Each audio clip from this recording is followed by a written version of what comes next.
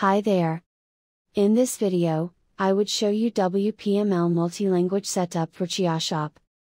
Go to plugin.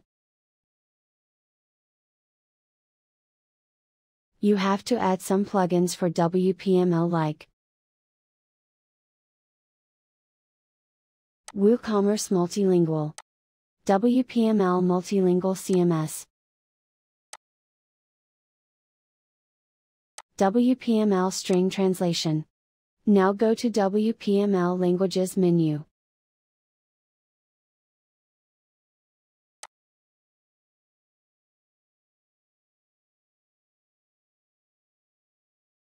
This is your site languages. You can add or remove languages by clicking on Add and Remove Languages button.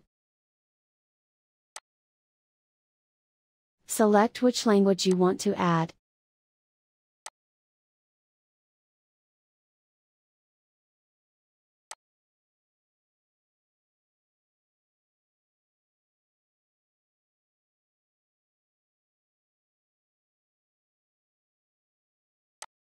Now click on Save button.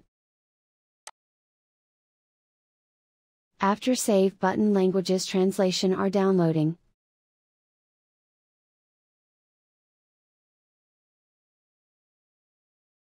English is default language.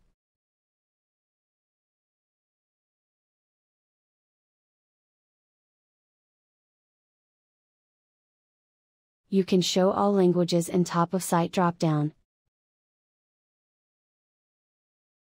You can set language URL format here. You can change order of your language form here.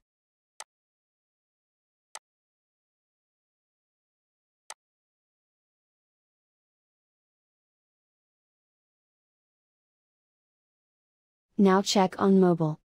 Reload the home page.